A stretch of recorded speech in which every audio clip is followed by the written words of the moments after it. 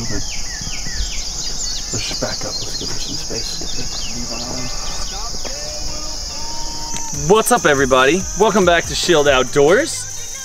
In this video, we're gonna talk about licking branches, licking sticks, communal sticks that the deer will rub their faces on. And that's how they say hello in this country, the country of the deer world. So, first off, shout out to a couple of people. If you saw some of our last videos, we did some shout outs to uh, Lindy Boys. We did some shout outs to uh, Coffee Outdoors and all they had to do was support our channel, comment below. So if you want a chance for a shout out, comment below this video and I will shout you out in a future video. Also, don't forget about our giveaways, Texas Raised Hunting Products, which we will be using some of that today on this, and we'll also be doing a cash giveaway here in a couple of weeks. So, Joey already did the honors of uh, burying this beautiful stick. Now, if you guys remember, it's kind of hard to, to reference with the corn now growed up. Back in like October of last year, a stick fell out of the tree, stuck in the ground, and I liked it. But I actually had to move it a little bit to get it in front of the camera. And I was like, you know what, we'll see if anything licks on this. We had multiple videos and pictures of does, bucks, just running in just to sniff the very tip of this. So what we're gonna do is first I'm gonna put some water on the ground to uh, help concrete this in because it's really, really dry. So we're just gonna give it a little bit of water. Boom. That's gonna be like clay. So now Hopefully this stick is here a little bit. Now this is not something, you're not gonna expect a buck to come rub this like crazy, especially this time of the year. They will literally nibble on this and they will sniff on this. Let me get into my handy dandy fanny pack. Let's see, we should have some preorbital in here somewhere. Preorbital is the gland by a deer's eye and they, boom, right here. So we're just gonna boop, boop, boop, boop. We're gonna top that off just a tiny bit. Boom. And that's all I'm gonna do. I'm actually gonna keep this um, pretty, what, did I drop a cap? Oh, here it is. So we're gonna keep this fairly reserved. I mean, it is the middle of summer, guys. Plus, this is gonna be something new. The deer are gonna be curious. So we're gonna go make another one of these, except we're gonna do it with a hanging vine. Um, and we're also gonna have videos today. We'll have videos of doing mock scrapes and also using some Hunter's Creed just to show um, how hormones do affect deer in the summertime. Because don't think deer won't do this. They do this all summer. So let's move on to another one and let's do, uh, maybe this time let's try to get a hanging licking branch. All right guys, super excited about this one. Your machete's bent, Joe.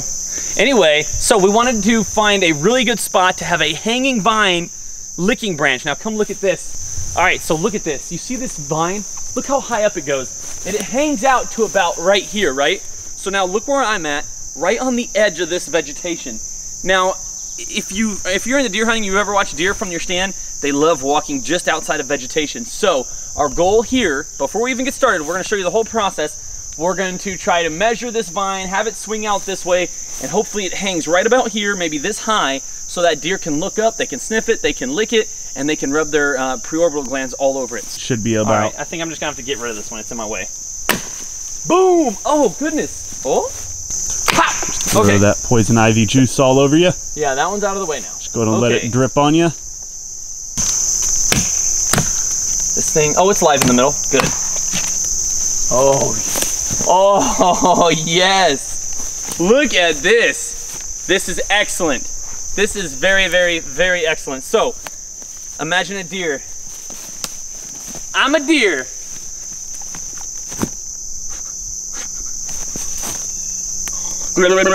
I'm not gonna rub my face on there. I don't wanna leave too much human scent on it, and we're already out here goofing around.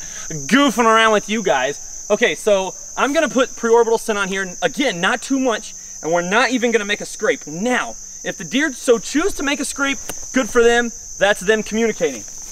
But for now, I'm gonna put some preorbital on this, and the, the deer will actually, when they get a little bit more um, aggressive, they will, uh, they will actually nibble on this and kind of eat it down. Just a little bit, maybe a little bit up high. Now, I think we have one very old cheap camera. We're gonna relocate it to this. We're gonna leave the SpyPoint uh, on the Rackology because those are just tremendous pictures, beautiful pictures. But we don't have any more cameras with us, so we're gonna we're gonna throw a cheap camera on this tree, probably right here, just to try to get a really good view of this. And uh, yeah, that's it, guys.